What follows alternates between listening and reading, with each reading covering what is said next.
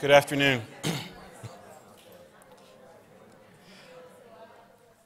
I haven't gotten used to daylight savings time, so I said good afternoon. Um, if you are in the back of the room, I am going to request you to fill into the front of the room, please. God forbid, that means you might need to get out of your seat and come to the front of the room. please come to the front of the room, please. Appreciate you. Thank you, thank you.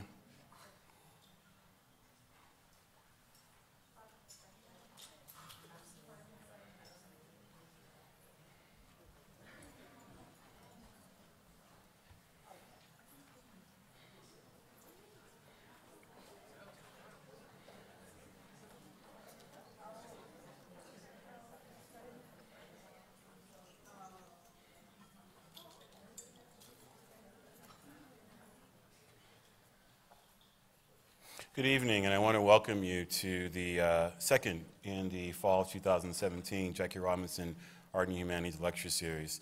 We took a couple of minutes to watch a, uh, a teaser for the overall series. Arts and Humanities Lecture Series at Pasadena City College has undertaken the incredible challenge of becoming the example of a lecture series, endeavoring to inspire, reassure, inform, and empower all who enters its threshold. We have a dedicated set of faculty, staff, and administrators whose main concern is to see to it that our students succeed. The Jackie Robinson Art and Humanities Lecture Series is an opportunity for this institution to tell a different story. It's an opportunity for this institution to tell a story about African American excellence.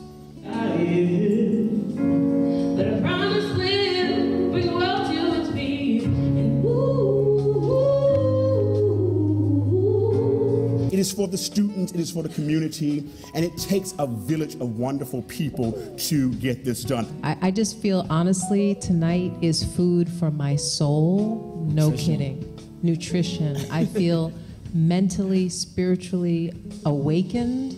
Dr. Robert H. Bell, Vice President of Student and Learning Services, and Dr. Christopher David West, Diversity Initiative Coordinator, along with educators, a dedicated staff, students, activists, artists, both local and national, and the community for which the college serves, set a course to create a gathering place where everyone is allowed to express the anger, the sadness, the joy, the wisdom, and the pride that shaped their existence. Obviously, God wanted him, he believed in God, so obviously, God wanted him to be by that pulpit so he could speak how he spoke. spoke. Because God knows that he, he had a preacher uh, style to him. I didn't want to go home and I didn't want it to end because I wanted to stay with them. The space provided by Pasadena City College not only provides a sound vessel for their journey, but also reminds the public and the school of its mission statement to help us achieve true greatness. Today is the day. When you get up from here right now, you got to figure out what your role is, like Jasmine is saying, And slide into slide that into it, Yeah. and do it in a way where we're all connected, right? So I was raised in the days of bluebells and double dutch. Amazing performers and guest presenters, some seasoned, some gracing a public platform for the first time, utilize the space and time provided to them to tell their stories and to express, redirect, and voice their needs, their struggles, and of course their own personal and daily triumphs through art and activism. Garbage. God don't pay niggas no mind. In fact, God hate niggas. The Undertaker's got so much business, he don't know what to do. He losing sleep. He This ongoing interactive archival lecture series educates, engages, and entertains our students and our community. It serves as a proactive tool to show them and the world that there are people who will not stand for suppression and indignity. There are people and have always been people that have brought this to life through the arts and humanities, whether it was poetry, novels, music, sports, politics, theater, film, or new media. Okay, so don't let anybody tell you that you can't do what it is that you want to do. The technology at this point is so sophisticated that it is irrelevant. What matters is who are you? The Jackie Robinson Arts and Humanities Lecture Series allows people from all backgrounds to demonstrate they are aware and that they care, using what we do best to carry out this message of excellence and divine destiny, and hopefully to remind Pasadena City College of its mission to pave the way to truly higher education.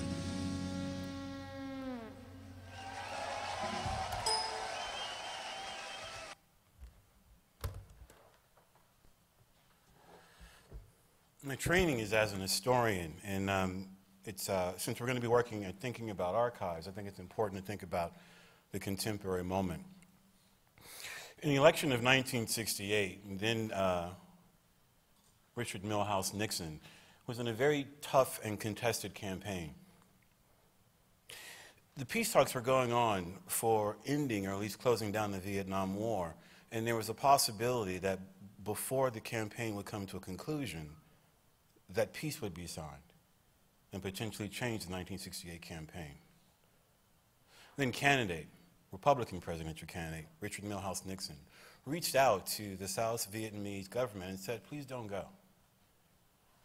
It was a secret communique. Then President Lyndon Baines Johnson, because of intelligence information, realized that, in fact, that the candidate for the President of the United States had worked with a foreign power and that working with that foreign power had changed the election of 1968. What's fascinating is that within days of being elected, then Attorney General J. Edgar Hoover would begin to intensify the campaign against black nationalist organizations. He would send a communique to the Memphis office, March of 1968, instructing that office, as 45 other field offices for the Federal Bureau of Investigation, to please look for ways that we can work against nationalists. And in particular, the name was Reverend Dr. Martin Luther King Jr. Was sent to the Memphis office. He would be dead by April. The times that we live in, uh, of course, I'm not referencing in any way, shape, or form any parallels to the current president. I'm just a historian. This is what we do. But when we think about these things, I want you to think about the ways that archives are so critically important because they are the places where stories emerge. Archives are important because, in many ways, they only are the places where certain stories get told. And so, when we dig into archives, we have to dig into archives to look for truth. There's no singularity of truth, but we've got to go into archives to ask good questions. We are in an age of trauma. And in an age of trauma, it is our artists, it is our writers, it is our poets who tell us that direction. And we have no better one tonight than the writer that's here. I want to take an opportunity to thank the folks who helped to pull this together. Uh, the new Dean of English, and I want to have her stand up and acknowledge herself and her family, please.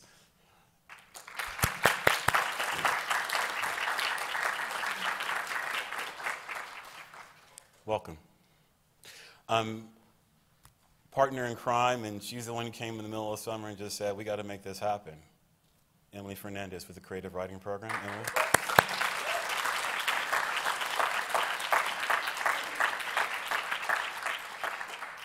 And we're going to have one of her students do the introduction.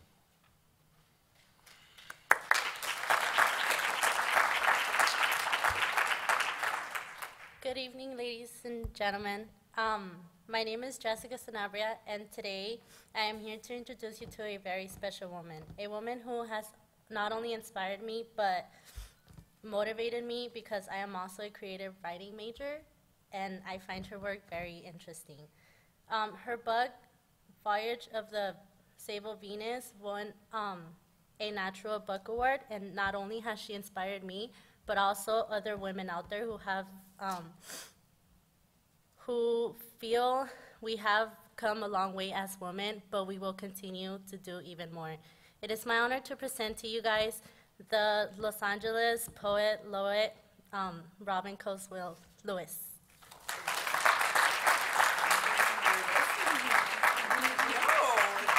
Everyone's always Hi, everyone. Yay! I'm so happy to be here. I've been looking forward to this for a long, long time. I've been uh, telling Emily and some of her students that I actually went to a junior college in, in the South Bay, Los Angeles Harbor College, and I have a very deep affection for junior colleges. It's my secret fantasy to teach in one, even though I teach at USC. Wait, is this being recorded? This isn't being recorded. Uh, I love teaching at USC but I really, my heart is really in junior college and high schools. It's very important work to be done. And also, the faculty who teach in junior colleges are sharp as tacks. I went to Harvard for graduate school. I have two masters and a PhD, and I just want to tell you the best education I've ever received has always been in junior colleges. So the moment I thought that I maybe could come here, I got really excited. So I'm, very, oops, I'm very, very, very moved to be here. Thank you, Emily. You're amazing, and thank you to all the students. Um, so I'm supposed to give a lecture, and I'm also supposed to read some poems. And then when I got here and I looked around the room, I thought, huh We'll see, because the lecture is a lecture, right? But uh, poems are exciting, right? It's just what it is. So um, Emily asked me to do both, which I'm very happy to do. I always like to make sure that um, the audience is happy. So I'm going to start with some poems, and then I'll read some excerpts from the lecture, and then I'll end with some poems too, if that's okay with you. Emily, you're standing there. Do you want to say something to me? No. Okay. Um, also, uh, how many people are in Emily's class who read the book? Can you guys just raise your hands so I'll know? So, do you guys have any requests? It's like calling the DJ because uh, Emily asked me to read Art and Craft, Lure, Second Line. Anything else? Seriously, no? Well, you can always just, yes, please. Yes, darling. Perfection. I was going to start with Felicite. Yeah? Anything else? Great. Okay, so I was going to almost speak Creole to you and say this is for you, but um, never mind. This is for you anyway. um, before I start, thank you so much for having me here. I also want to say that um, every year of my childhood, I was born in Compton, and I have like, I don't even know how many relatives in Pasadena, a lot, and Altadena. And every year in my childhood, I came and worked on the Rose uh, Bowl parade floats from when I was like six till probably 16. Every single year, I camped out in my cousin's uh, bedroom and we pasted flowers on those floats every single year. Um, so I don't know, for so many reasons, Pasadena just has a very special place for me. Also, my uncle Charles, you guys might know, Charles Johnson, uh, died recently at 104. He was a Pasadena resident since 1923, and he uh, was a member of the NAACP from its inception until the day he died. And every time he saw me, he would say, Niece, did you pay your membership? every single time. So I want to dedicate this reading to him and my Aunt Eula, whose backyards I spent a lot of time in in Pasadena. Thank you for having me. This is Felicite. Of all 300 species of hummingbirds, only one, the ruby throated, crossed the Mississippi. Somehow this matters to me. They can hover in midair. They can fly backwards. They fly 500 miles straight through across the Gulf of Mexico without ever landing. Their mouths are hollow, burnished needles, bright, sharp flutes. They sip the nectar of cactus flowers when Louisiana meant all the land from the Pacific to the Mississippi, a grandmother of mine once owned one of the largest plantations in all of the territory. When Louisiana meant Spain, she had been a slave. When Spain sold itself back, she's listed as the sole owner of a vast plantation, a plantation so large many property lines now form the boundaries of an entire County. Tonight, after 25 years, I realize I've spent my entire life avoiding any situation that might require me to say these words aloud. From that moment, I discovered her rotting inside a molding courthouse, her signature next to the plantation's inventory. I began to babble any words I can think of in four different languages, placing them in the most chaotic order possible in order not to say these words. The black side of my family owned slaves. Or her signature, Marie Pani, femme de couleur libre, Marie Panis, free woman of color. Her lover was a famous judge from Sardinia. He took great pleasure in watching black women hanged inside the square to musical accompaniment. I read this about him once, then tried to see her, brown, sleeping next to him, fucking him on her plantation, on top of a pineapple bed, kissing behind his ears, sharing an alligator pear, strolling through her cane. Maybe at some point every hour, a part of me has wondered about her silently, though I did not think so until just now. Perhaps she is the answer to the sensation I've had for years, that of another body hovering inside me, waiting for address. What can history possibly say? Sometimes I feel a pride I cannot defend or explain. Sometimes I smile. Into the barbed nectar of this story, I have stared my whole life. Whenever someone tried to kiss me, I tucked her name under my tongue. If someone tried too long to hold me, I hid her between my legs. If they wanted to touch me there, I'd pull out her name and place the white bone under my pillow, hoping she would return, take it away, leave me a glistening quarter. To her son, Théodule, Marie gave her favorite slave, a girl named Félicité. They were married. One of their children, Heloise, was my grandmother's great great grandmother. There's a picture I found of Heloise once, corseted in a studio, standing next to a waist length pillar which held a verdant fern. But mostly, I have wondered how does one name a slave happiness? Happiness had a twin sister, Francoise. I don't know what happened to her. Perhaps she is still out there like us, her throat glistening, a silent red. Or perhaps she is the only one who can still cross the river, the only one still flying backwards over the Gulf without landing. Um,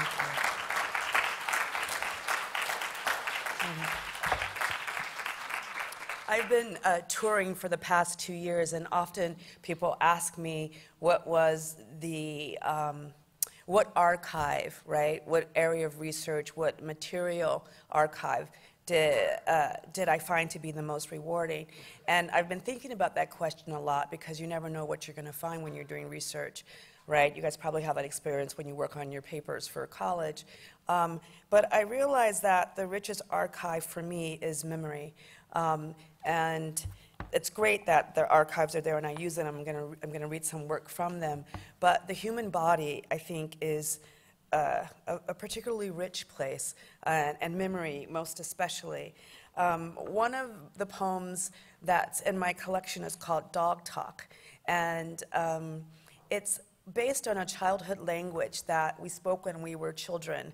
My family's from New Orleans. I don't know if you guys have gotten to study the Great Migration yet. If you don't get a chance, please insist upon it. It's one of the most important migrations of human beings on the planet. Um, and as a part of that migration, my family came, as many families came, from Louisiana to Los Angeles or Louisiana to California. Um, but every summer, people would go back, right, as families do, and the children would bring in their mouths, totally separate from the adult's experience or their parents' experience, childhood languages. Every summer there was a flood of different childhood languages, and everybody had to learn them. And then, you know, for the whole year we would speak those languages. One particular language, dog talk, stuck. And um, my sister and I still speak it. I'm 53, she's 57, so you can imagine. And now my son has picked it up too. But I thought about, I think about this language a lot because I, um, one of my graduate degrees is in a- ancient language called Sanskrit. And uh, when you study the ancient world, there's all this fantastic research, speaking of archives, that scholars are doing. And now, in the last, I would say, two decades, scholars are doing a lot of research on child, children's games in the ancient world. Like, forget the monuments. We'll talk about monuments, I'm sure, tonight. Forget the monuments. Look what these kids, in, you know, engraved or rubbed out in a statue in Rome. Or look at this inscription where they, you know, carved through some letters to make some really funny Roman graffiti, right? So more and more scholars are becoming aware that children actually are the arbiters of more culture than we could possibly understand. And so I think about Dog Talk, the language, as an artifact of the Great Migration. Um, it was a way for sure that everybody in the neighborhood um, kind of assaulted adult, adult authority. You know, they had no idea what we were talking about, which was great. But it's also an archive, right? It's language is an archive in and of itself, you know, and it's also Dog Talk was also an archive of a moment in history where particular families made this migration. And so I wrote this poem um, in Dog Talk, and I'll translate it for you afterwards. Dog Talk. We be babroke a bevery be sabilla bo bo bo or barama bows, bor broke the bim, a ban, a bopa the bim for bor a bear, or bor war barber, or bor sabid, or bor fubud. A ban sabers, kobeshtabins, nabame, sabikrabits, we be bent a binglabish, a embraced a bit, the ben a based a bit, about the bus a bame, tabaim. I call this dog talk for dummies. It's not in the book. I'll translate it for you. We broke every syllable our mouths broke them and opened them for air or water or seed or food. Answers, questions, names, secrets. We bent English, embraced it, then erased it at the same time. Thank you. And since we're talking about the Great Migration, I'm going to read a poem. Oh, Emily, I'm going to read it now called Second Line. It wants to be read now. Second line, and it's dedicated to my father and my son, both named Henri Louis. And then one day you fell and broke your neck just like that while taking a shower. Afterward, you walked back to your chair and asked about the length and color of the weather lady's skirt. It was brown. When the ambulance arrived, you told them to go on home. You were fine. Two hours later, you slumped over, and still took them three more days to realize you had severed your spine because the whole time you told jokes and wouldn't quit smiling. Pull my finger. Stoic and stolen so early on, what is it about veterans of the Second World War that makes death require more convincing? Three months in ICU, a broken neck, eight heart attacks, a clement stream of steady infections, and yet there you were. Still, 84, in a coma, batting your eyelashes nonstop and full speed at the world. Even while dying, you would not die, so we were forced to kill you. But then we put on Ray Charles, and just when they pulled the plug, he began your favorite song, Hit the road, Jack, which you did. You hit it. Before the song could end, you were gone. I have never been so proud as I was that morning watching your breath, second line home so quietly. Except for that day when I first started my period and was ashamed. Nobody would go and buy me anything because they said it all came with the new messy territory. But you drove me right up to the store and said, stay in the car, then came back out with a paper bag. When you fell, it was the first month of spring, March 13th. That day, I climbed up into the air and could not climb back down until just now. So, how do you call that body born colored and male, hunted and used for cog and prey? Tree adornment, altar cloth, war fodder, And still somehow came laughter, often and more eagerly than fear. Your one half good eye forever fixed and cocked on the wry glint of the world. When I was four, you showed me how to play tonk and the proper way to throw down a bone and score with sound. When kindergarten began, they had to skip me two grades because you'd already taught me when and how to double down. That's what it felt like to be Negro me, daughter of colored janitor you. Pi, the mathematical number, pi, was not a pastry. History was not a book. It was a smell like damp cinnamon in your blue work shirt. Starched pans, union, crawdad, crab boil, oysters shucked and soaking in their primordial liqueur. It smelled like all of this, and the vieux carré, its thick, peculiar cotton air breaking beneath the sea's sloppy canopy. It smelled like the last high note of the market woman's song sing song whenever she cried fresh strawberries. History was the smell of dirty whites soaking in a hot tub of bleach, and your first whore, that nice girl from Storyville who Unc Felix took you to see when you were a randy gentleman, all of 14. History was the morning of your first communion, marbles and cigarettes pocketed inside your muslin altar boy gown. It was the smell of gunpowder from the small pistol you hid in your sock to protect your brother Lucian and other Negro doctor friends while they tended the colored sick and shut in.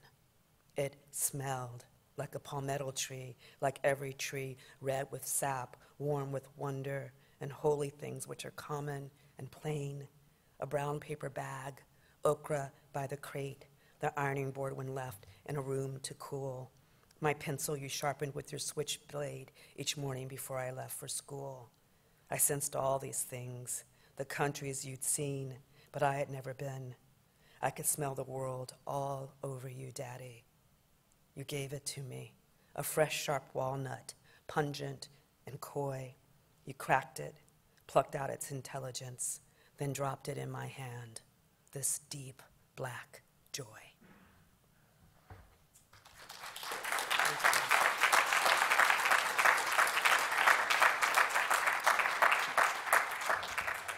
Thank you.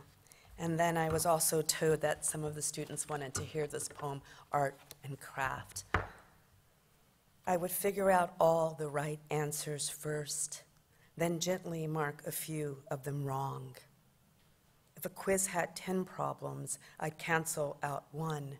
When it had 20, I'd bite my tongue, then leave at least two questions blank. A B was good, but an A was too good. They'd kick your ass, call your big sister slow, then stare over your desk as if you'd snaked out of a different hole. Knowing taught me quickly to spell community more honestly. L O N E L Y. During arts and crafts, when Miss Larson allowed the scissors out, I'd sneak a pair, then cut my hair to stop me from growing too long. Thank you. You guys don't have to clap. You don't have to clap. That's sweet. Um, I'm going to read a couple more. Any more requests before I move on? No? Okay. Um, I'm going to meet a couple, read a couple more, and then I'm going to read some from the title poem, and then I'm going to read some excerpts from the lecture. Good with you guys? Okay. What I really want to be doing is dancing under a disco ball with you all, just so you know. um, anybody ever see the, the real movie The Wiz, not the second movie The Wiz? Anybody ever see the real one? The first one, I shouldn't call it the first one. Who, who hasn't seen the first one? Come on, raise your hands for real. Who hasn't seen it? Because then I'll explain. Okay, yeah, Michael Jackson, that's right. Michael Jackson's breakout. Okay, good to know. Okay, I'm going to come back to that in a minute. This is summer. Last summer, two discreet young snakes left their skin on my small porch two mornings in a row. Being postmodern now, I pretended as if I did not see them, nor understand what I knew to be circling inside me. Instead, every hour I told my son to stop, stop with his incessant back chat. I peeled a banana and cursed God, his arrogance, his gall, to still expect our devotion after creating love and mosquitoes. I showed my son the papery dead skins so he could know too what it feels like when something shows up at your door twice, telling you what you already know. Um, and um, I'm actually a really nice person, but I am enraged by the um, lack of generosity in our engagements with history, in the history of this country. And so history plays a very large part in my work. And uh, if you're from any kind of community or country or category that has been uh, oppressed in any way, of course, that oppression is often denied for the grand uh, master narrative. And so a lot of my work is about offering correctives, hopefully elegant ones, to kind of sneak past the radar so I can actually get some historical recovery done. Um, beauty is very important to me.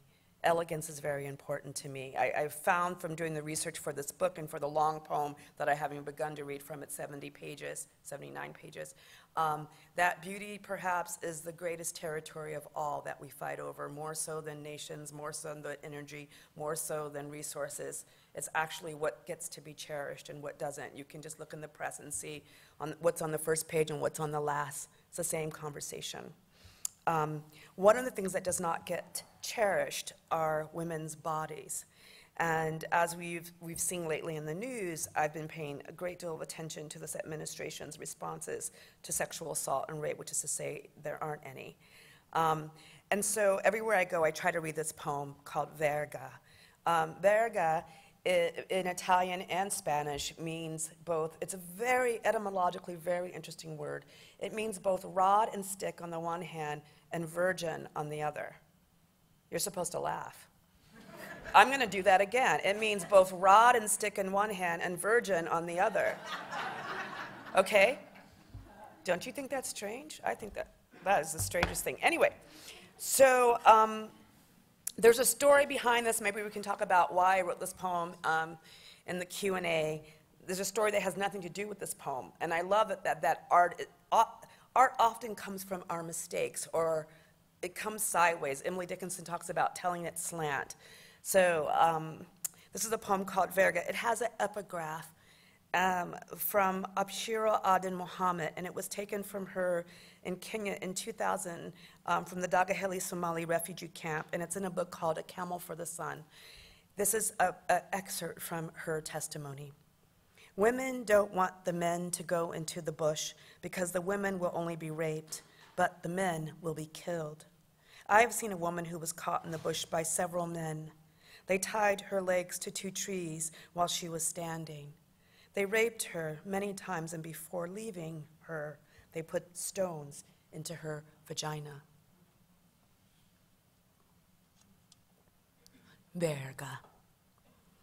Before leaving her, they put stones in her vagina. The men will only be raped, but the stones will be killed. The bush caught many men to go into the stones. The stones would be killed by several trees before leaving. The bush tied the men to the trees in their vaginas. Before bush go to trees, they kill many stones. Many men will be caught by the trees in the bush. Several trees will be raped by the bush and killed. Only the caught men will be stoned and bushed by the trees. Several men were caught by the trees before leaving. The men will be killed, but the stones will only be treed. The stones put many trees into the men's killed vaginas. By the bush, the trees were raped only several times. Before leaving, the vaginas were seen standing in the stones. I'd like to dedicate that to President Trump.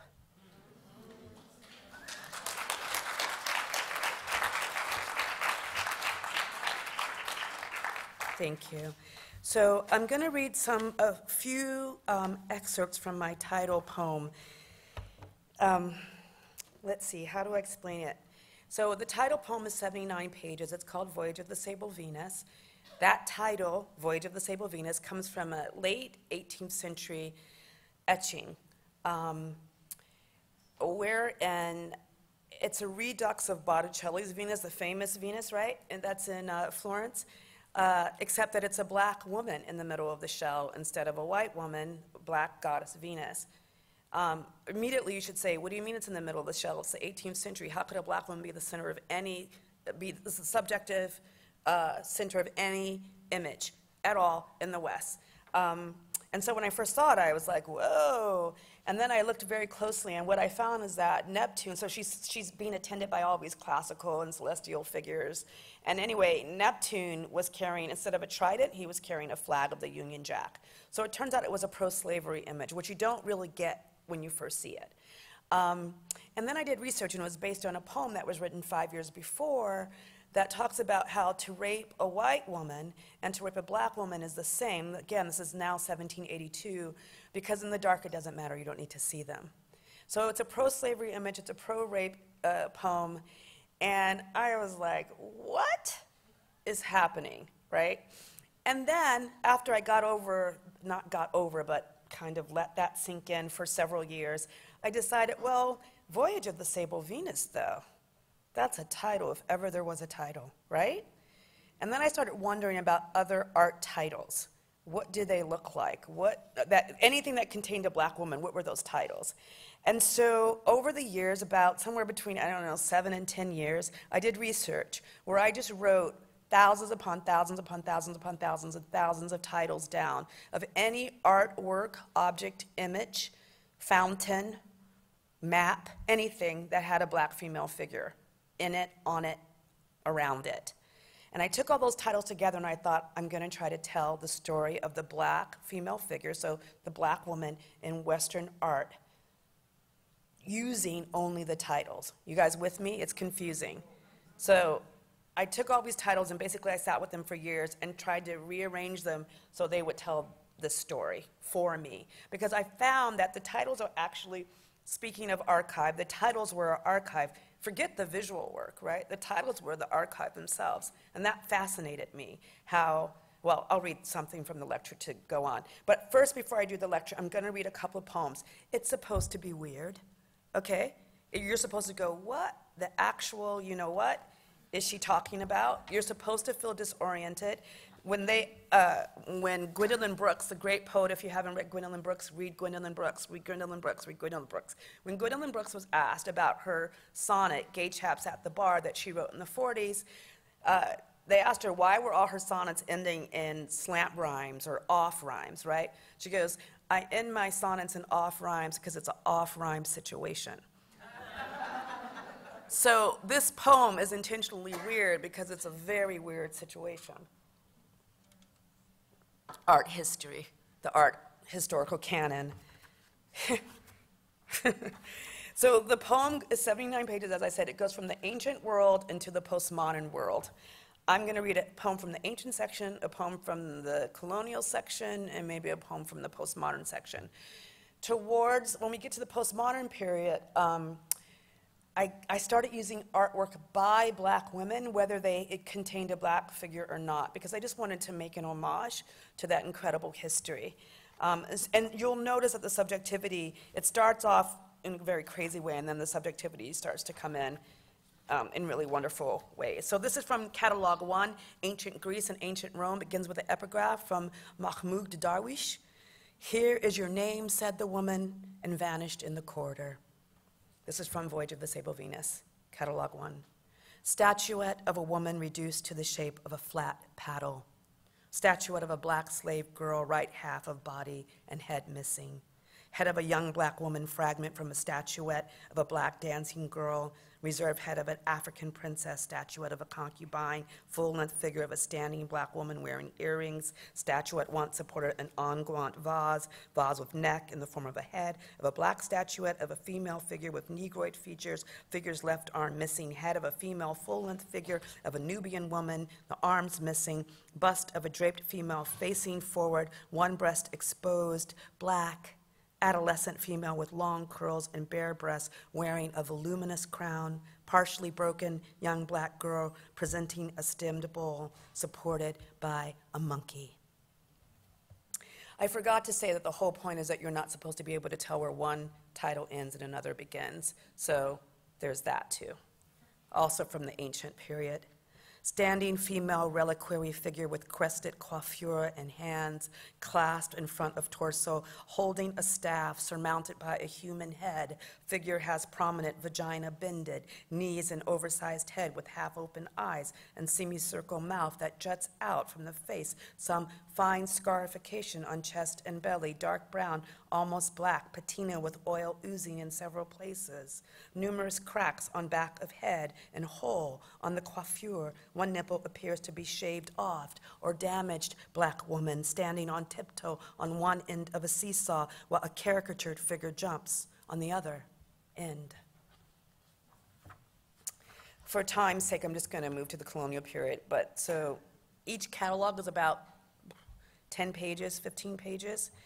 I should say on my way to the colonial period that the one place where I found where I, that shocked me and I found praise and adoration was in the Christianity period. Can you guess why? Can anybody guess? Guess what is one of the oldest continuous uh, practices within Christianity that regards black female figures? I went to divinity school and I couldn't guess. What?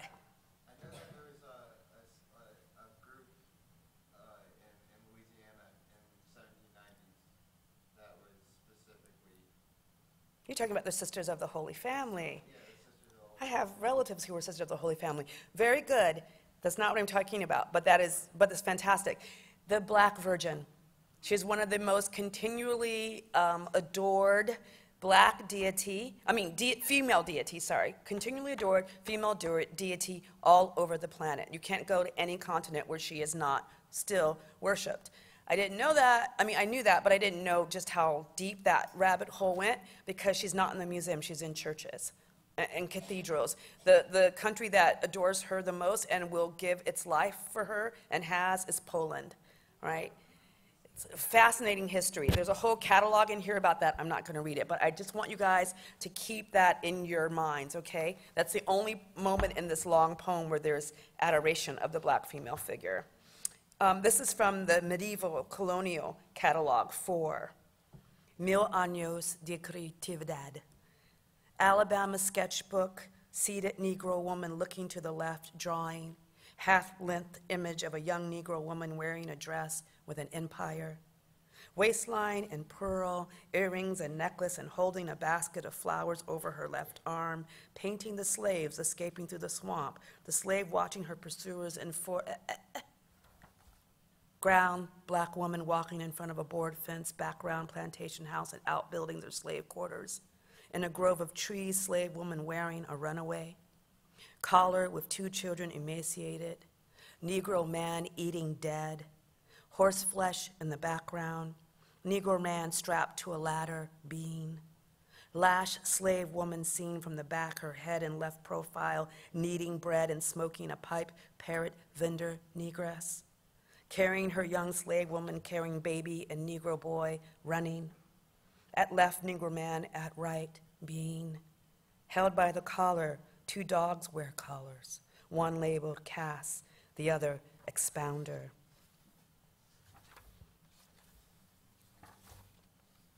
The mulattress African woman with her basket, Congo basket full of fruit, diamonds sluicing the Drake jewel, laudanum, aspiration the mask of blackness, work on progress into bondage, bondage. Tall figure Lilith, the goat tender of the colonies, a Christmas gift to old master and Mrs. Merry Christmas and Christmas gift, old master.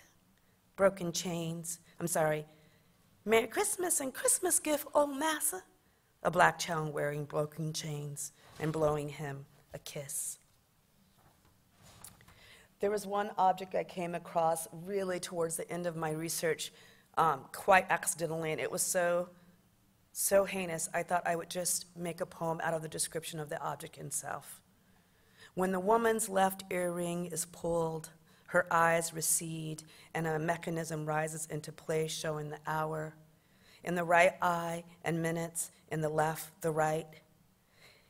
When the- right earring was, I'm sorry, the right earring was originally designed to release a musical movement with the pipe, organ, and the bass. It was a clock. If you pulled her right ear, the right, you guys got it? The eye receded and the time came up in the eyes for both hours, minutes. L'effroi, the terror, full length. Figure of a Negro woman holding her child over her head, out of reach of a serpent climbing up her dress. And then, so I'm skipping over independence movements, civil rights movements, all of that. I'm going to read just a couple from the um, postmodern period. Catalog seven, I called this modern posts because there were so many posts that I found made of black women, right? Columns and posts everywhere. Modern post, it has an epigraph from Lou Reed, and the colored girls go do, do, do, do, do, do, do. Landscape, Western Hemisphere, Le Tumulte Noir. Spiral. Okay, wait, one thing. So now you're listening to only titles by black women, paintings by black women, mostly paintings, video, some sculpture, okay? So again, all you're hearing are titles that I've tried to make into a narrative. Landscape, Western Hemisphere, Le Tumulte Noir. Spiral, arteries in the female body, evidence of accumulation. Empirical construction extending horizontal forms. Delirium, wake, and resurrection landscape allegory, suprematist evasion, black city convalescence from somewhere. My irony surpasses all others. Have you any flesh? Colored silk stockings, young man? Still life, wild, foul, deaf witness while you wait. I embody everything you most hate and fear. African, Africane an anti-slavery meeting black tie cement ball, an opera in three acts. I have special reservations between me and the rest of the land. There are bars, something brown, carmine, and blue. Middle gray, gray area, green heads, brown heads, an untitled brigade. Stadia circulation style in spades. Red Opistics, troubled island, zero canyon typology. Do you think A is B? Boy, girl, red ball slave girl in holiday attire, slave girl with jade doves comb with birds, phoenix segregation, enough, reframing the past. I sell the shadow to support the substance, runway. Thank you. I'm gonna just keep going. Dick and Jane with me, page spread, the upper room two, flip side self untitled female drinking figure, reclining silent protest parade, the result of the 15th Amendment ritual and revolution self possession. Invisible black Russians, girls with guns, linen watch from the tower. This is my life cutting up old film. Don't edit the wrong thing out. Untitled World's Exhibition being the narrative of a negress in the flames of desire. What remains inside Pandora, mechanical girl? Rabbit hole, fingerprints, secrets, tales of amnesia.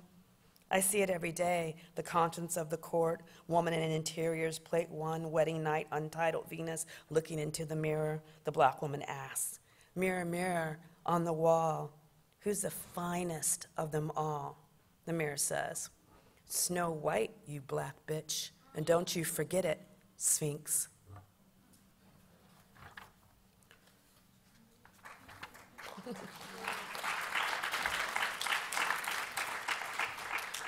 For time's sake, I'm going to read one more, and then I'll read a few paragraphs from the lecture, and then I'll stop. This is a subtitle, Brown Girl After the Bath, Apex Beauty School.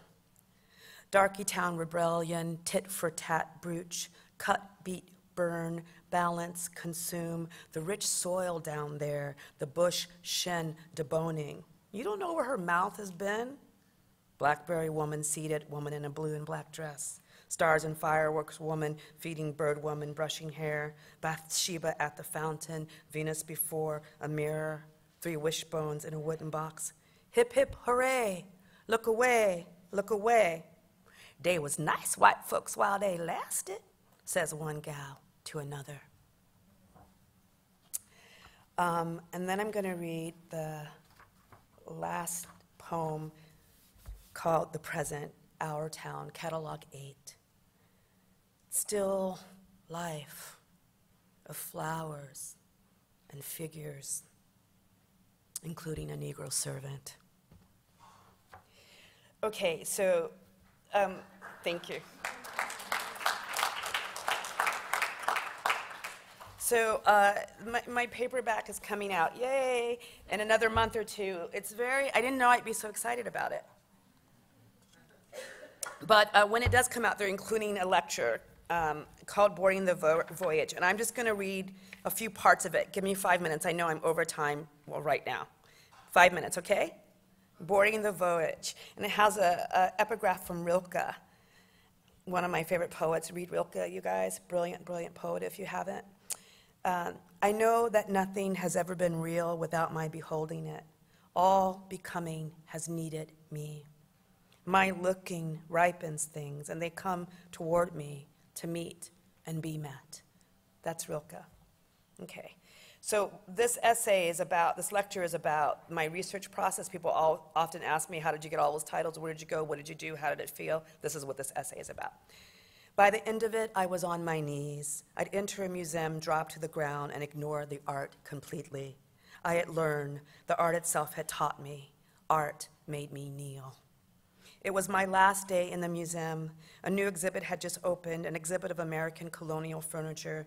I was there to research an Egyptian temple, but ran quickly upstairs to see this new exhibit. I knew what to do now. I didn't look at the image. There was no need. Instead, I walked into the gallery, dropped to the ground, and crawled along the floor. Why would anyone desire to carve the foot of a black woman at the end of a table leg? Why would anyone find it pleasurable to sit upon a chair whose legs, instead of a simple, elegant form of smoothed wood ornamented with dahlias or peonies, say, had been sculpted into the shape of four miniature black women, their hands extended high above their heads, four miniature black female chair legs to hold up the sitter? Which kind of sensation did it create to place the backside of one's body down upon a seat supported by eight wooden brown miniature female hands. A small black female carved into the handle of a tool, miniature black women who could fit into your palm, a three inch long black female carved into a knife handle so you could hold onto her body tightly whenever you sliced your daily bread. A palm sized black woman in your hand when you brushed your hair at night, looking absently into the mirror a spoon handle, a drum, a hammer, a flute, black body sculpted into the wooden frame surrounding a heroic painting of a white male on top of a white horse riding triumphantly into war. Black female bodies ornamenting the tripods, the base of a table, sleeping inside the frame, selling, offering, tending in the background of innumerable paintings bending, standing, waiting, ever a neck or a hand or a bending face, tilting from behind a column, over a shoulder, from the margin, bringing the horses, carrying the hats, carrying the master's sword, his helmet, pulling back his curtain, holding a map, holding a glass filled with cold water, offering a bouquet of flowers. And all the countless, countless European stone fountains, supported by submerged black torsos, holding up all the world's water.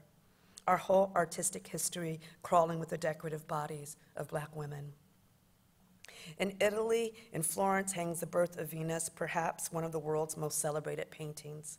The goddess Venus stands naked inside a tremendous scallop shell. I I'm going to skip that, so I, I don't want to keep you guys. In the background, there is an outline of a shore. In the foreground, another female figure, also white, but this time with darker hair, this time fully dressed, awaits Venus's rival. She, arrival. She holds open a brocade floral tapestry with which she gestures to cover the goddess's nakedness.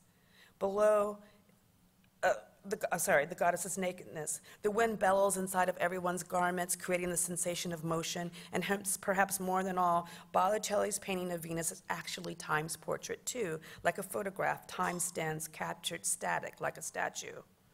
When I was a child, looking upon this Venus, I would think that predictable thought. I want to stand inside a giant shell. I want red flowers to fall from the mouths of clinging angels from heaven. I want to hover too.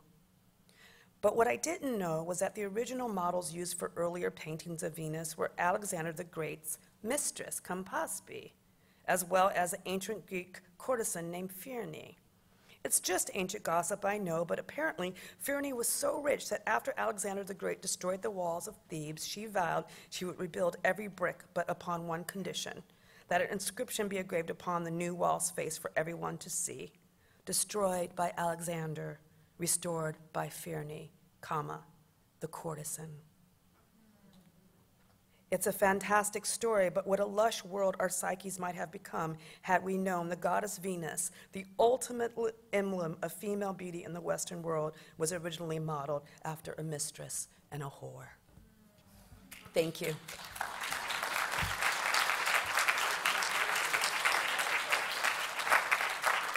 Um, we're going to have Q&A now, yeah? Are we still doing that? And there's a mic over there if you guys want to come up. And if you don't want to come, you can also just ask questions or comments from your seat. Yes, ma'am. Mm-hmm. Mm-hmm.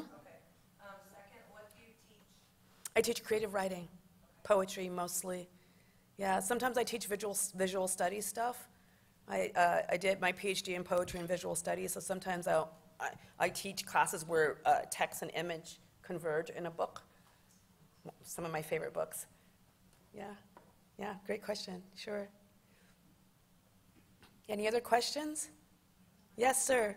Thank you for Sisters of the Holy Family. Never in my life has anyone ever said that. Yeah, that's very interesting. Um, you said you were related to that. Mm-hmm. Uh, I was just, I was gonna kind of further that. Uh, Sure. What, what part of Louisiana, what parts of Louisiana was your family from?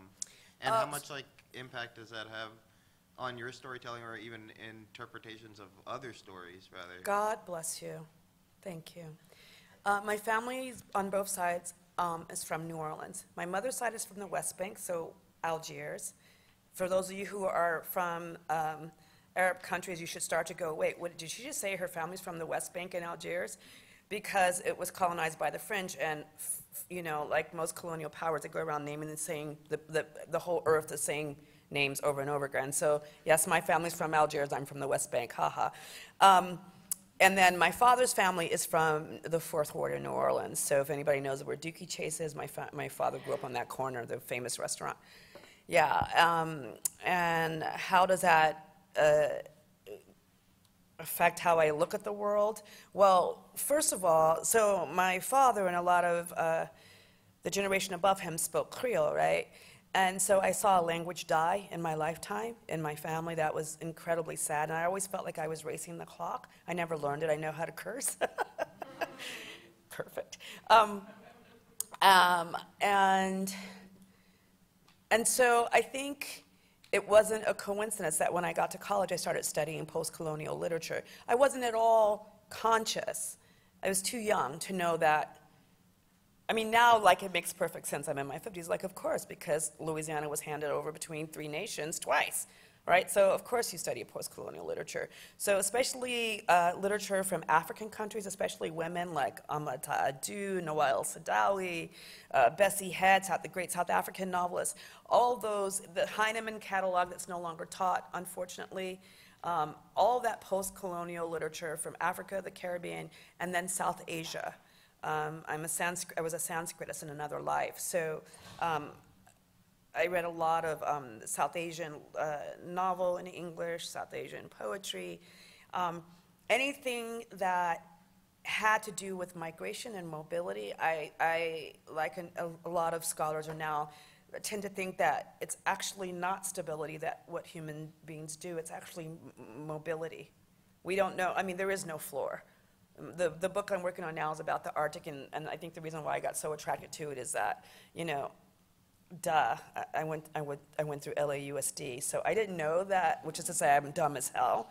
Um, I didn't know, I didn't know that uh, the Arctic Sea was all frozen ice for the longest time. So when I finally figured out that these, this whole history of humanity took place on land that is not land, but really water, I got completely attracted to it allegorically, right? Um, and so that's what I'm writing about now, but it makes perfect sense to me because, again, there are people who are in this precarious situation, but doing more than surviving, they're thriving beautifully, right? Regardless of all the ruptures of empire. Um, and so, any literature like that, I'm also interested in literature of the frontier and literature of exploration, I think, for all the same reasons. You know, I have a very weird mind. I, I finally have learned to love it as opposed to just like I'm just weird and it's fine. Um, but that took a long time. But so, um, I think it also helped me because of the, uh, all the ways in which Louisiana changed so many um, hands in terms of colonial powers. I think it also helped me to locate African Americans within a larger or longer colonial context, which is very important. Because, you know, if, if people had their way, we would just think that we like only began 400 years ago.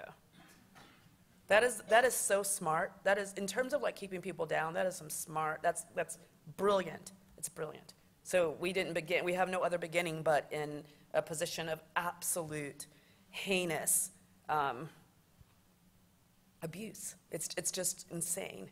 And so because of my studies in post-colonial literature, it kind of broke through that myth of inception.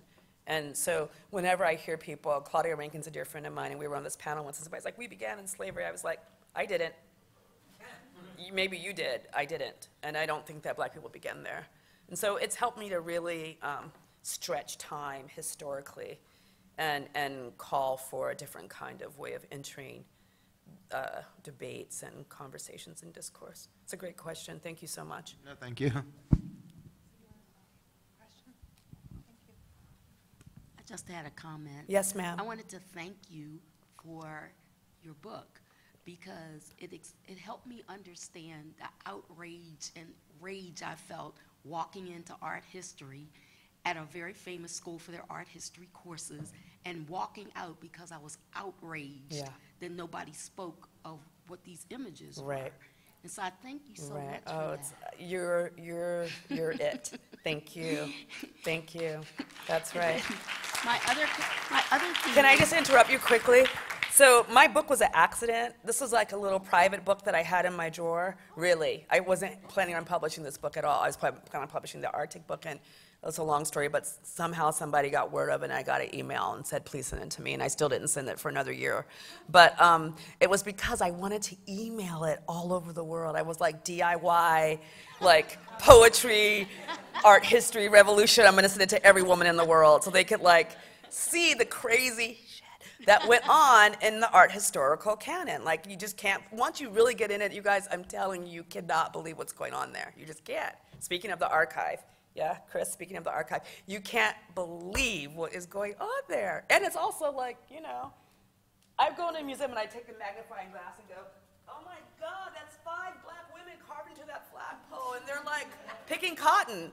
Did you know that was there? I mean, it was like that all the time. I, I'm not joking. All, I went all over the world for years with my baby on my back and magnifying glasses, just going, are you kidding me? To the point where I would just start laughing. I mean, it's in the, when the paperback comes out, I'm not plugging my book, you guys, I don't care. I give a lot of my money away, so this is not what this is about. But when um, the paperback comes out, there's a, the 30, the, the essay, it's 30 pages that I just read from about Venus. Um, it talks about like how I would be in the middle of the night doing research once my kid got too big for me to travel with him, and I would just like I remember just spitting up a whole glass of wine at three o'clock in the morning because I came across something that was just oh the clock, the clock, right? I was like, is that what like? So yes, ma'am. Sorry, I'm right there with you. It's so much worse than you can ever imagine. Oh, I should say one other thing. These guys were like, well, why did you decide to put that in there and not that in there? And I was like, you know, so the statuettes that I read, if, I, if there is a statuette that it's in there, that means I found probably 400 of them, 500 of them. The ones that were most common are the ones that got put in. Okay, sorry. I also purposely delayed going to Europe until I was more mature. Mhm. Mhm. Because I didn't want, I've been so Mhm. bowled over by how superior Western art was, superior art Yes. was to America, to you as a black. blah, Yes, blah, blah. exactly. And I wanted to go and just see for myself. Yeah. When I went there, I was in Florence and Mhm. Paris, Mhm. the basic Mhm. places people go. And I was bowled over because I kept seeing black, African, artistic philosophy all over the place. Absolutely. And it, it, it stunned me because I could see it. Absolutely. And I wondered if Absolutely. So that's funny. We have a lot in common. I refused to go to Europe for, I didn't go to Europe, I don't think I went to Europe until I was in my 30s or 40s. And when you do graduate work, you're, expected to go because why not? And I was like, no, I'm not. I'm going to go to these places first. India was the first place I went to besides Mexico out of the country. Um, and I'm so happy I chose only to go to places where brown people were for the longest time because I knew that Europe was this all encompassing, en- encompassing thing in the Western imagination, the Orientalist imagination. And so when I did finally go, I loved it because it didn't have the same weight at all. I was like, but I had been to the, I had been to India. You guys, I'm sorry, but I am like an India fanatic as a Sanskritist. Um, you know, you can't go and look at those temples and be, ever be the same. You just can't. I'm talking about the artwork, the sculpture. Um, and so I feel like, uh, in terms of the historical timeline, whoops, that going into the ancient world, all over the world, put Europe's kind of starting with the Renaissance and moving forward, artistic uh, history in the proper context. And it was really wonderful. It's a great question. Yeah. But I think we should see it all. Yeah. Yeah, Any he other has a question? question. Yeah, sorry about that. Um, so this one's probably going to be a doozy. Um, A dizzy or a doozy? a, a doozy. Fantastic. I, love I always doozies. have like 80,000 questions at once. Great. Um, but two sort of themes I'm seeing that have been in your work are sort of this. It's sort of like a catalog of invisibility. In your work, this long-standing, uh, just theme of objectification and all that. And I'd like to know if um, there's also. Always take me. I'm with you, right? I'm with Yeah, you. Okay. So um, the big thing now in a lot of activist, feminist, social change circles is intersectionality. And as a person who's traveled all over the world, seeing these things, did you see that intersectional resistance at any point? Did you see anybody standing up and saying a counter narrative? Or is it Okay. just abuse all the way down? Okay, so the thing is, well, uh, that's an interesting question. The thing is that intersectionality is not new. And I've been trying to tell my students, like, y'all talking about stay woke and intersectionality. Intersectionality has been around for decades, founded by Kimberlé Crenshaw, the critical race theorist. And if you really want to have your heads blown off, go back to the 90s and read critical race theory. That will put, that will put intersectionality, in, intersectionality, and I love Kim's work, is a cherry on top of the cake. Okay? But there is a cake. And you guys, those people who are all into being intersectional, you are missing out on so much if you don't go back and read this stuff. You guys, the 80s and the 90s, now that I'm older, I know I sound like my father. He's like, you don't know what music is. It's like, you don't know what theory is until you read the 80s and the 90s. But it is true. And I think Kim Crenshaw will be one of the first people to tell you that. Um, I'm so happy to see, it's very curious. I'm sure the people who have gray hair in this room are feeling the same way that I do. It is such a curious thing how things come back and when they come back. I did not see intersectionality coming back for the life of me. It was like this really sexy moment in critical race theory. It's brilliant, which is why so many people are attracted to it, but it was way too ahead of its time for the moment. So good for you. Just one second, ma'am. So uh, did I find places in the Western world in my research in from so my book goes from 38,000 BC to the present. I should say that that long poem goes back 38,000 years. Did I find instances of intersectionality that were healthy as opposed to abusive? Is that what you're trying to say? Essentially, yes. No, except except for every now and then. So, for example, that's what I was trying to say about the cult of the Black Virgin, mm-hmm. right? I got to Christianity ready to get my head chopped off and cry for 10 years. I was like, this is the religion that killed its God and put him up on a cross and stabbed him Can you imagine what they were going to do to the black female figure? I just knew it was coming. And then I was like, and Hieronymus Bosch, who I love, but Hieronymus Bosch is a sick fuck, right? So I just knew it was going to be like all kinds of like, and Hieronymus Bosch did not let me down, I'm proud to say, but everybody gets treated equally in Hieronymus Bosch, right? Um, but there were no black female figures in Christianity, except for the Countess this and this, like some, it was all royalty. Some oddball black woman that somehow married some person. Five of them, max. Other than that, there were no black female figures until it, it, it's in this essay where suddenly something says, get up off the ground. You know, I'm doing my research, I'm looking all over Christian art, like, where is she? She? And I go, holy shit. She's the mother of God. Do you understand when I'm telling you how odd that is after what I just read you, the ancient period? That then the black female figure through Egyptian, right, through classical Egypt, becomes the mother of God. She's the mother of God. I'm going to say it again. She's the mother of God. That is the only moment, and it is truly exceptional. And if you guys want to like really get your mind blown, go look. Just go Google the Black Virgin. So what's really interesting is that a lot of people will be like, the candles did it, right?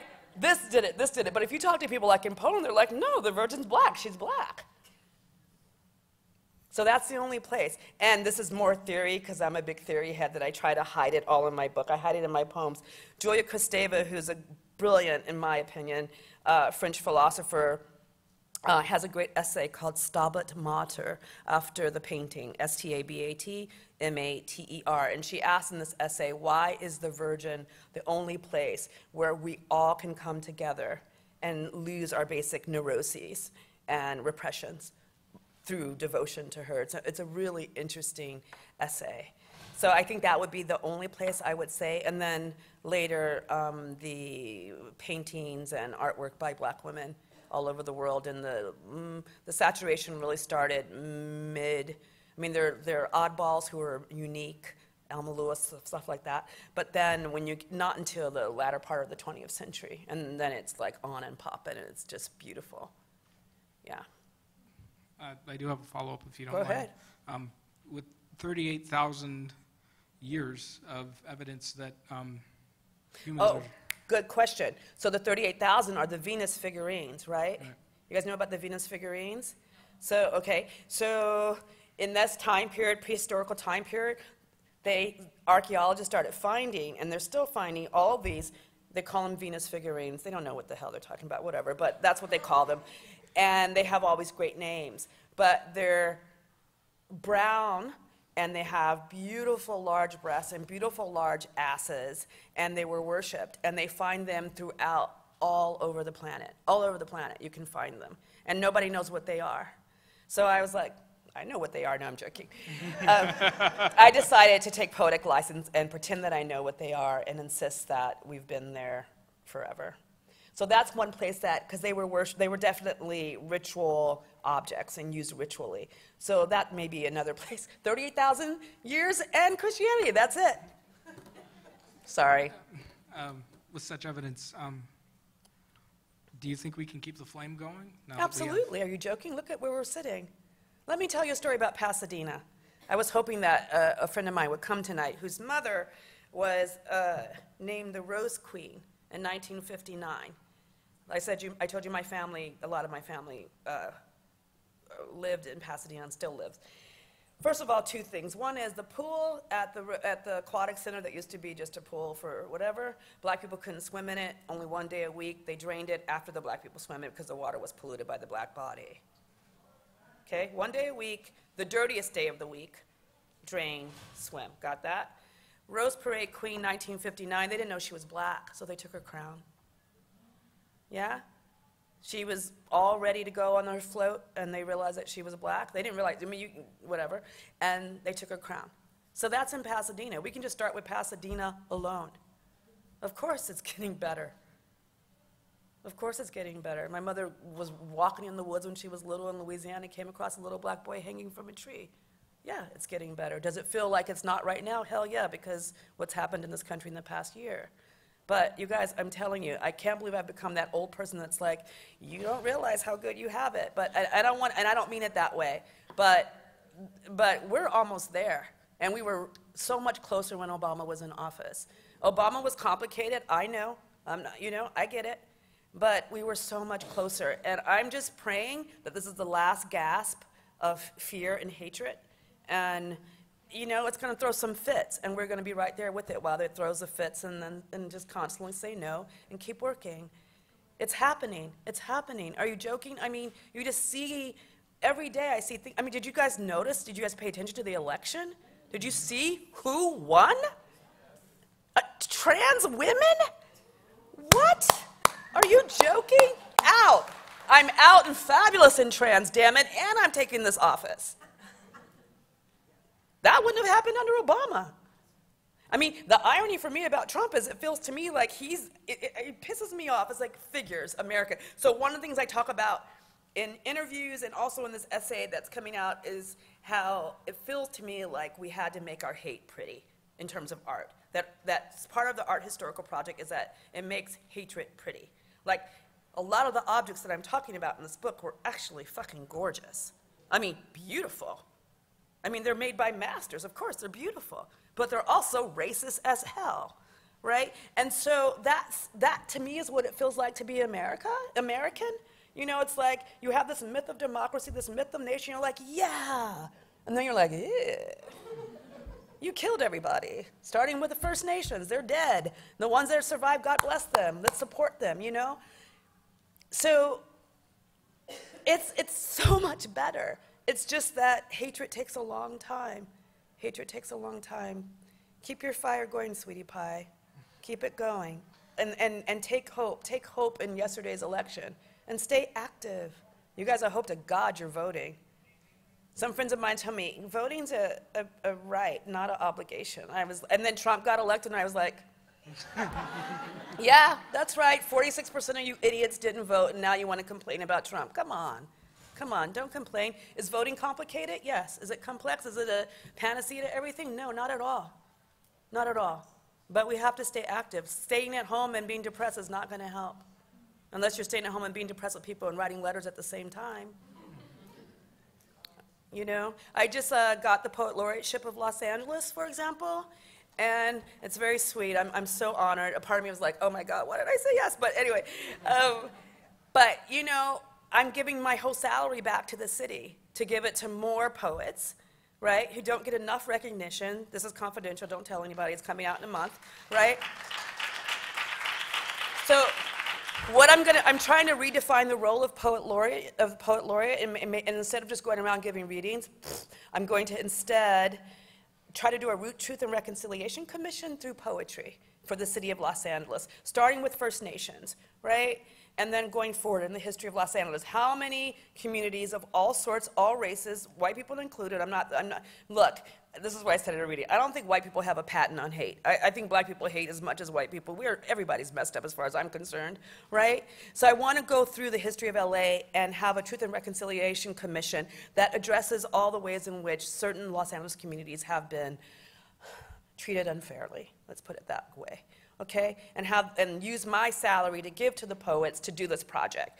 So I also think that uh, giving is a very important thing. Is my point. Philanthropy is very important. Poor people give more money away than rich people do. Do you know that? We're the we're the most powerful givers on the planet. So it's important to put your dimes where your mouths are too, and volunteer your time. I volunteer a lot. So don't worry, just stay active, but don't worry, we got it. All right, thank you. You're welcome. Anyone else? One or two more questions? I could stay here all day. I'm, I'm fine, you guys. I don't care, but. Yes, ma'am. So sorry. That's okay. I am an emerging writer, and you have just given me the spit. Good. You, you have given me the courage to keep writing about my history, Good. about my youth, Good. about my That's right. African ancestry. That's right. So I want to thank you for everything It's that you have given us pleasure, tonight. I wish I was in your classroom, oh, I swear. my pleasure. my but this pleasure. old gray-haired lady does not I have never heard the term intersectionality. Mhm. Can you define it for me, please? Yeah, it's the idea. So it's a fancy way of saying that we have to deal with the whole body, right? I know, right? It's actually like not that deep, but okay. It's a fancy way of saying that we have to deal with the whole body, that you can't just talk about race. You can't just talk about gender. You can't just talk about class. You can't just talk about ableism. You can't just talk about whatever. You have to put them all together. I, I prefer the term simultaneity. I'd, I'd like to deal with the whole thing at the same time. I don't think, I, I don't know how things that are whole can intersect, is what I keep saying. It's like it's already a whole. You can't take it apart. There's, you know. So um, that's what intersectionality is about. Can't And talk about one without talking about the other. Right. And, and right now, and you guys, I don't mean this to be pejorative. I mean it as a term of affection. As a queer woman, we say the kids affectionately. So, and the kids are losing their minds over it right now. and it's great. It's fantastic, right? Um, but I think the kids already knew it. And now they have a word for it. I think, I think that younger activists totally understood what intersectionality is, and, but intersectionality is such a sexy word that we like to say it again. Um, but they knew it. I mean, that's the thing I love about teaching college, right? Is that my students are brilliant. My undergraduates are brilliant, right? They know intersectionality, they know theories. We all do, right? We're in a body, we're living on the planet. We know what we know. You know, we know our lived life.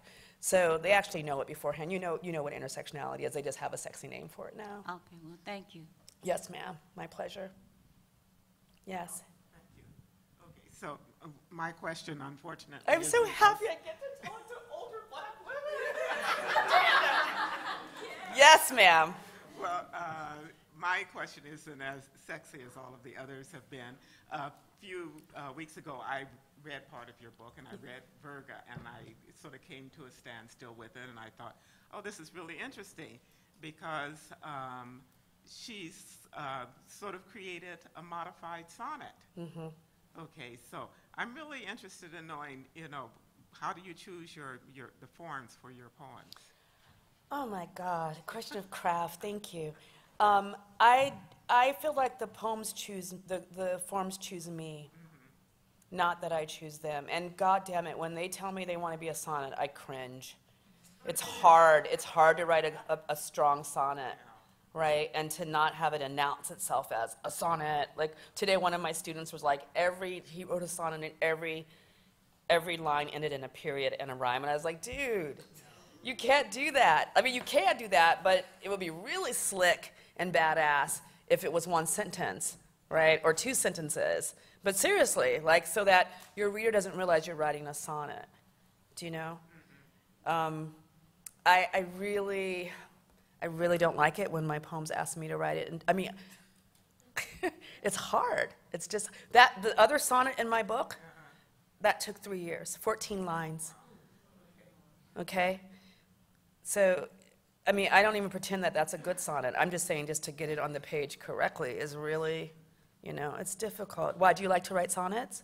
Um, I only recently have I been because I am part of, you know, a, a pretty serious poetry workshop. Fantastic. And somebody, they said to me not too long ago, you should make that a sonnet. Mm-hmm. Thought, ugh. Do you have rhyming dictionaries? No, I don't bother to try to rhyme. I didn't bother to try to rhyme. You should. I used the. You learn so much. You learn so much. Bye. Mwah. Mwah. Thank you, super fabulous students. Bye. You should get some rhyming dictionaries and try. And there's a great book I just told my the same student today about, edited by Eavan Boland. You know the name of it? Something sonnet. Eavan Boland, Irish runner, writer, she, poet. She runs Stanford's program, B O L A N D. If you remind me, I'll, I'll give Emily the name. I don't know if you, you don't go to school here, do you? No, no. Oh. Come up to me, I'll, I'll give it for you in a minute. Okay, yes, ma'am. I have a request. Yes.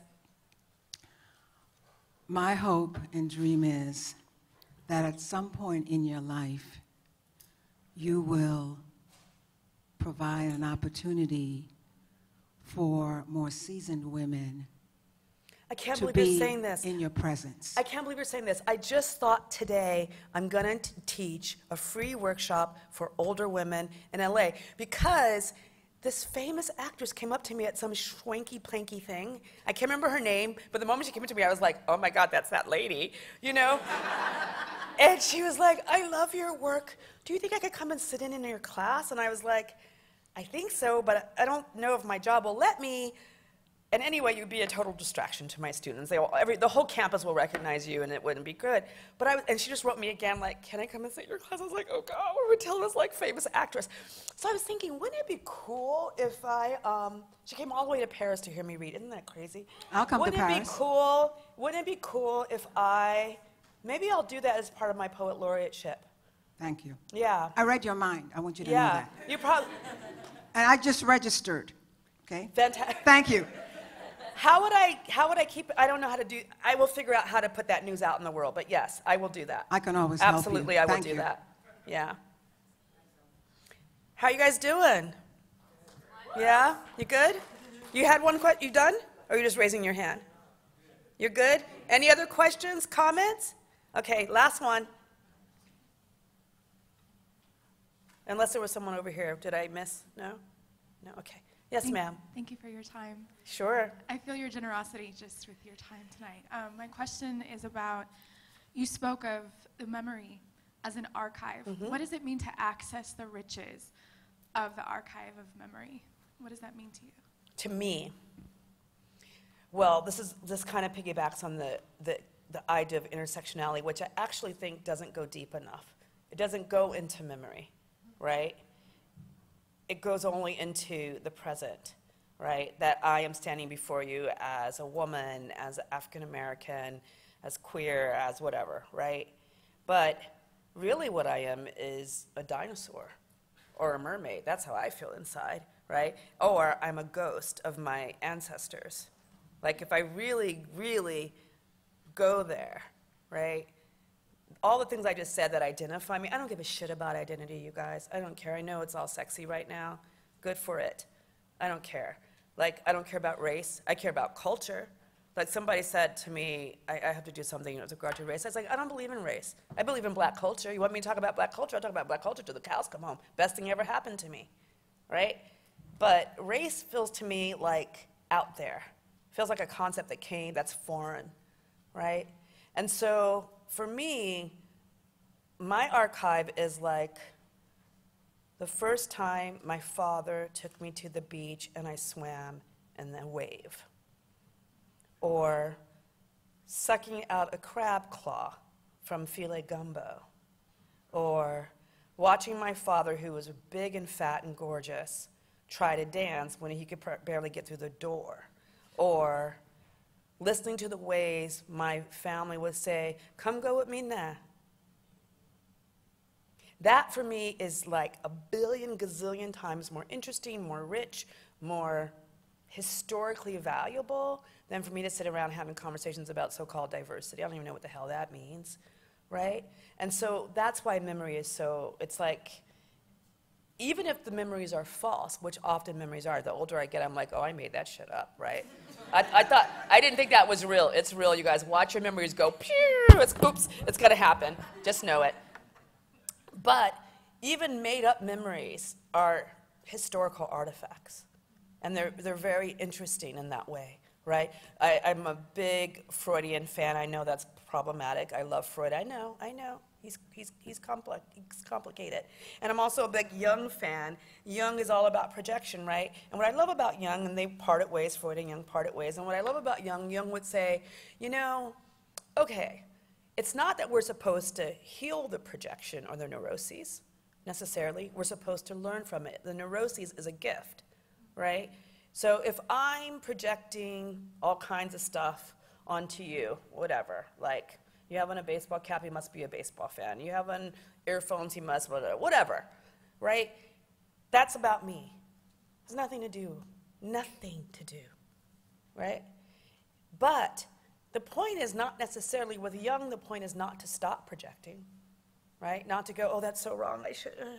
The point is to go, that's so interesting that I think just because there's a baseball cap and earphones that that would, right? I feel the same way about memories, even false ones. Even if they're inaccurate, they're historically true in a lot of ways. They're historically real, I guess.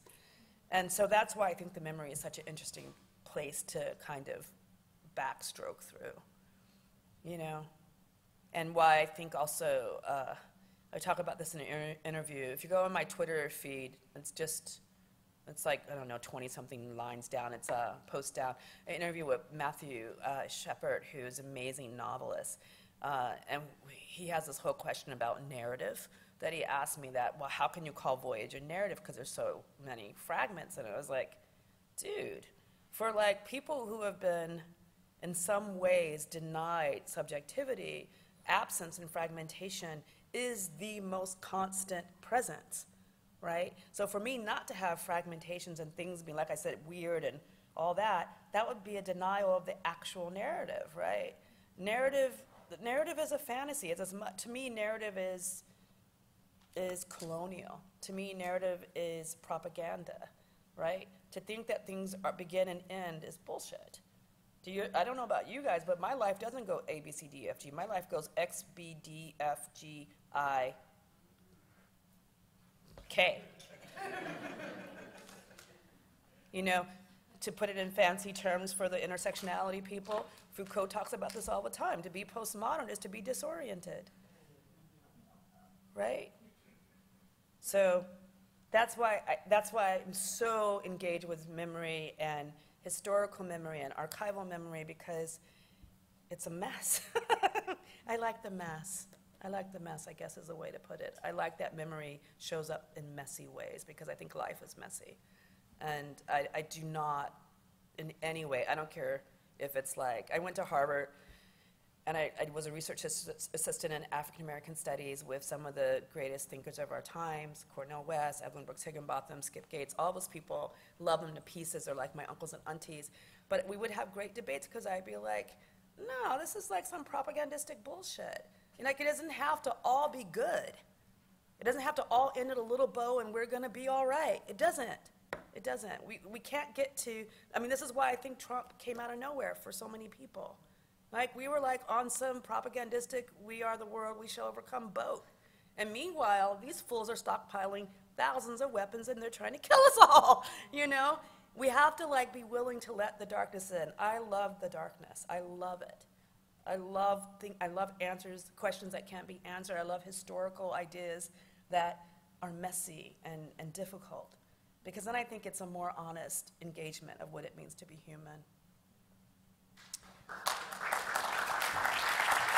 Thank you. Thank you, thank you, thank you. I think I'm done. And yes, I'm happy to sign books if you wanted me to, if that's what you're about to. I'm sorry, guys, I'm verbose, I know.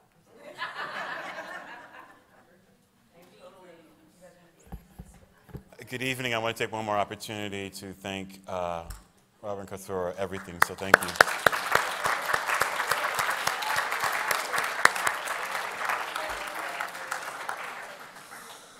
She will be hanging out for a bit if folks want to have a conversation. There are books available for sale. Thank you for coming to the lecture series. Um, for those of you in Emily's class, she'll take care of you. So those in my class, I will see you. Is, is Wednesday before Thanksgiving next Wednesday? No. No. I'll see you next Wednesday. Bye. I just had the same conversation with my students. Wait, is it Thanksgiving? I totally don't know. I know, I don't know either. I'll let you, if it's not, I'm not gonna see you. I know. Oh, the last part that you were talking about to the answer. Uh, Uh-huh, That was, um, I could give, uh, I'm, you know, I could care less about that word or any.